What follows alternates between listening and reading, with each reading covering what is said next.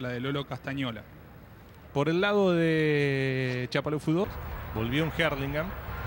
Y gran jugada aquí, otra vez de Lucas Monteverde. Para salvar esta situación, lo que ha trabajado en defensa y en ataque, está antes que los hombres de Chapalo Fútbol.